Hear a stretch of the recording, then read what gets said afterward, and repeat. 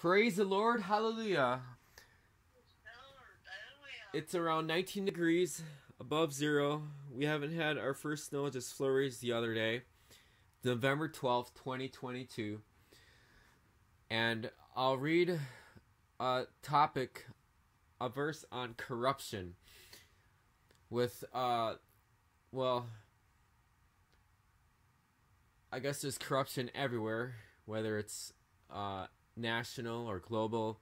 But I decided to choose this topic after much news about the crypto world, world FTX, and um, just the economics and financial stuff going on, and political stuff. Or I'm not referring to anything particular specific on political, but there's corruption everywhere. There's even corruption even in churches and uh, any institutions because of man-made.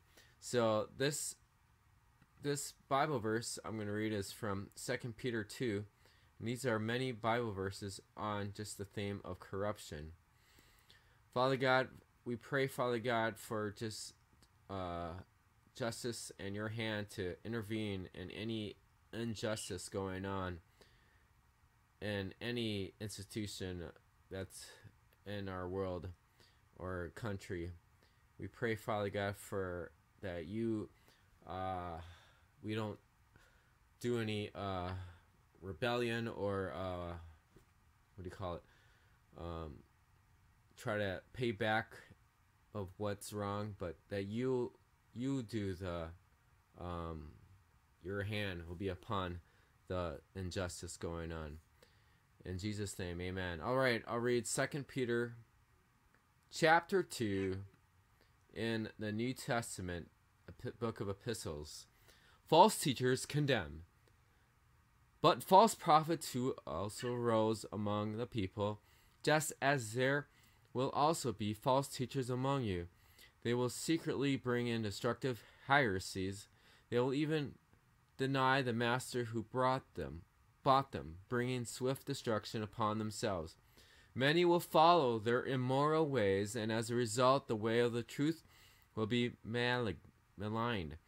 In their greed, they will exploit you with false words. Their judgment from long ago is not idle, and their destruction does not slumber.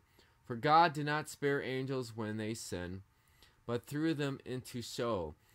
He put them in chains of gloomy darkness to be held until the judgment. He did not spare the ancient world. He preserved only Noah, a proclaimer of righteousness, along with seven others, when he brought a flood upon the world of the ungodly.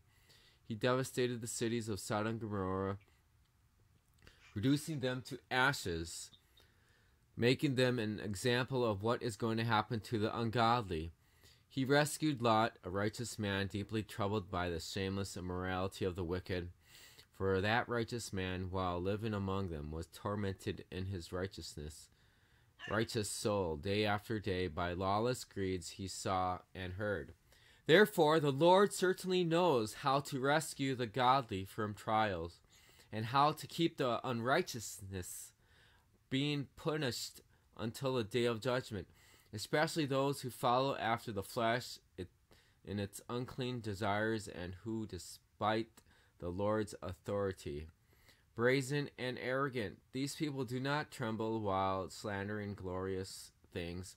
Yet, even angels, though stronger and more powerful, do not bring a slanderous charge against them before the Lord. But these people are like irrational animals, creatures of instinct born to be captured and killed. They malign what they don't understand, and in their destruction, they will be utterly destroyed. They will be paid back for what they have done. Evil for evil, they consider carousing in broad daylight a pleasure. They are blots and blemishes, reveling in their deceitful pleasures while feasting together with you.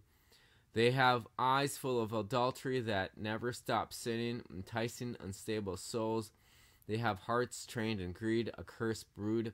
They have abandoned the straight way they have gone astray. They have followed the way of Balaam the son of Beor, who loved the wages of wickedness, but he received a rebuke for his own wrongdoing. A dumb donkey spoke with a man's voice and put a stop to the prophet's madness.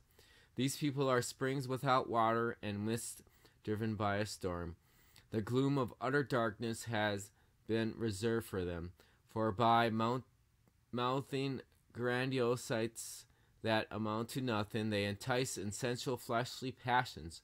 Those who are barely escaping from those who live in error, they promise them freedom while they themselves are slaves of corruption.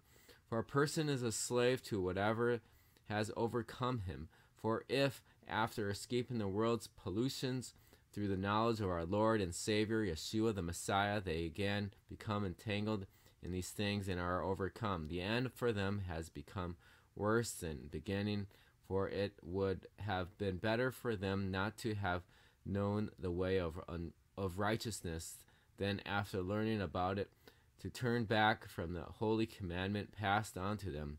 What has happened to them confirms the truth of the proverb a dog returns to its vomit, and a scrubbed pig heads right back into the mud.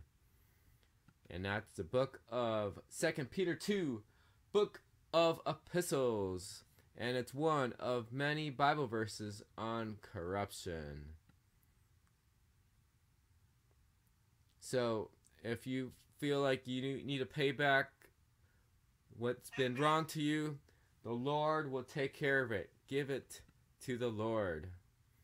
He will uh, intervene.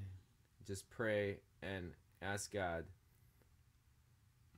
to deal with the corruption. In Jesus' name, there is power in the name of Jesus.